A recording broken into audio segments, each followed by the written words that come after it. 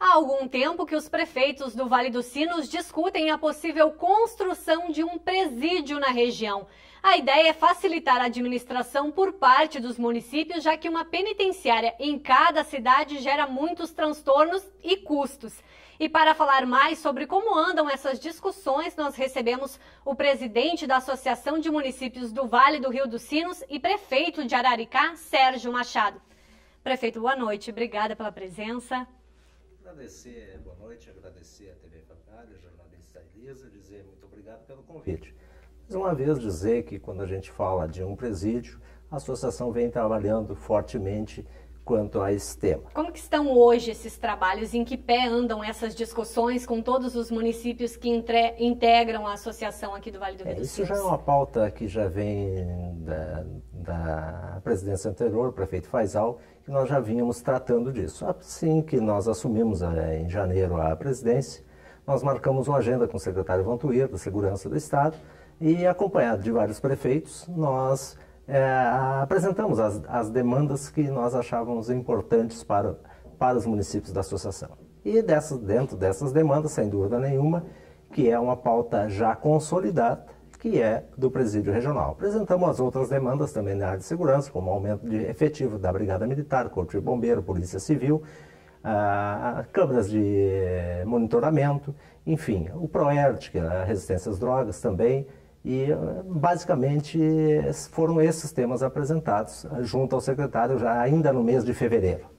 Por que, é tão importante para a região a, construção de uma penitenciária regional e não um presídio em cada município? É, sem dúvida nenhuma que ah, hoje há um acúmulo de presos e nós pensamos que nós precisamos tratar isso de maneira é, suficientemente é, valorizando aquilo que nós temos que também são é, comunidades, são presos, mas que nós temos que tratar. E quanto mais próximo da, da nossa região, nós temos hoje Novo Hamburgo, só o presídio de Novo Hamburgo, com 300 e, algum, é, e muitos presos. Dentro desses, muitos é, poderiam estar num regime semiaberto ou num regime.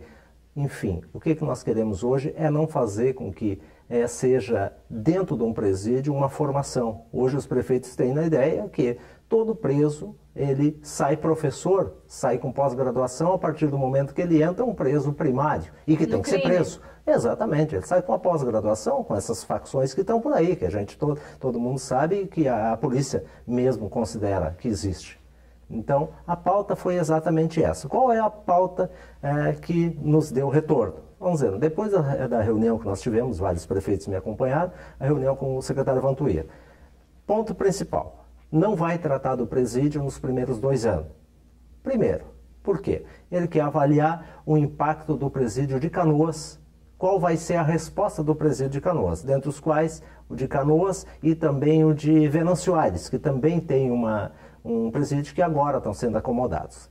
Dentro disso, nós já saímos com uma reunião pré-agendada com o grupo técnico de trabalho da Secretaria de Segurança, capitaneado pelo Tenente Brasil, que veio, fez uma fala importante para a associação, passou todas as demandas e nos apresentou. Mas o mais importante que hoje eu entendo para a nossa região que vai existir um grupo de trabalho focado em quatro municípios, quatro regiões, que o secretário vai trabalhar de maneira é, forte, que é Porto Alegre, Canoas, Vale dos Sinos e região da Serra.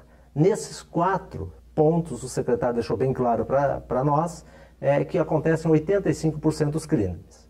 E como ele não vai aumentar também o efetivo, já deixou bem claro para todos nós, não vai ter um aumento de efetivo. Mas como nós estamos em área, é, não digo de risco, mas área potencialmente com um maior número de crimes, 85%, ele vai direcionar um enfoque principal para isso, criando um grupo de trabalho, um grupo de de, de ação tática, onde ele quer atingir esses delitos nessas regiões, principalmente Isso ao longo dos próximos dois anos? Não, isso é imediato. Já é imediato. É, a, a logística dele é, é para agora, é em cima desses desses quatro, eh, desses quatro, dessas quatro regiões. A comunidade vai poder participar dessas discussões, desses grupos, ou inicialmente ele é mais fechado para gestores, para autoridades de segurança pública? Não, inclusive, a partir desse momento nós tivemos, por exemplo, as câmaras de vídeo monitoramento. Todos os prefeitos querem.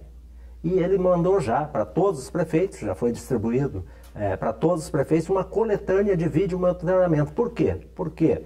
Porque muitos prefeitos estão implantando o sistema e que não vai ser é, condizente com a realidade que o Estado tem de monitorar. Então nós queremos um perfil, é, uma universalização dessas câmeras e também para que nós possamos juntos fazer essa, essa avaliação e de implantar ou não com custeio. Nós queremos custeio. Em relação ao projeto do presídio ainda não foi desenvolvido, isso vai ser mais para frente. Sem dúvida nenhuma que é o primeiro passo que vai ser feito após uma análise inicial que, que nós deixamos claro para o Estado que nós reconhecemos que é uma possibilidade, mas nós também não sabemos certo o que vai absorver Canoas, o que vai absorver Aires. Então, nós entendemos isso, ele foi, é, nos passou segurança quanto a isso no tema, vamos dizer, é conhecedor do tema, nos passou isso com, com uma certa facilidade. E os técnicos, a informatização de todos os serviços, inclusive agora, por exemplo, Porto Alegre hoje, todos os táxis que andam, eles têm um GPS e dentro da sala de segurança eles conseguem monitorar. Tem, tem um sistema lá que se um motorista de táxi vê que está com um problema, ou desconfiou de um, de, um, de um passageiro, o que, que acontece? Ele aciona e já toda a rota desse táxi começa a ser monitorada. Então é importante, eu, eu, acredito muito na informatização, na qualificação e vamos dar uma oportunidade para que possamos fazer isso. Ok, prefeito, obrigada pela sua presença e que essas discussões avancem, já que é um projeto importante também para desafogar todo o sistema da região do estado. Agradecer mais uma vez a oportunidade de estar falando contigo, com a TV Fevale, e dizer que a associação, o presidente da associação e todos os prefeitos da associação são parceiros para discussões. Sem dúvida nenhuma que nós vamos avançar muito forte quanto a isso. Muito obrigado também pela oportunidade. Obrigada. Obrigada.